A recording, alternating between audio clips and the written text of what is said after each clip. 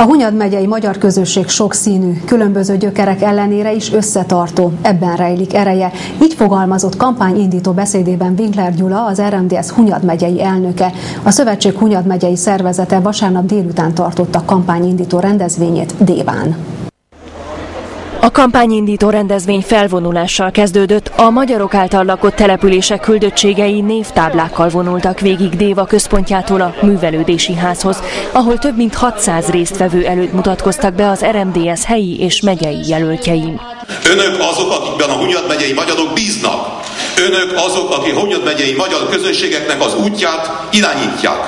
Tehát az elég, hogyha mindenki egy családtagtól kezdve egész mindazokig, akik felnéznek rá, mindazok, akiket irányít, elhozzák június 10-én szavazni, és akkor győzni fogunk.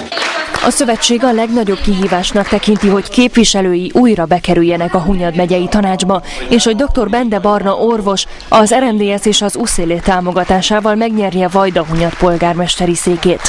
Legyenek biztosabba, hogy nem a politikai pártok nyerik meg ezt a polgármesteri helyet, hanem maguk vajdahunyadiak nyernek egy polgármestert.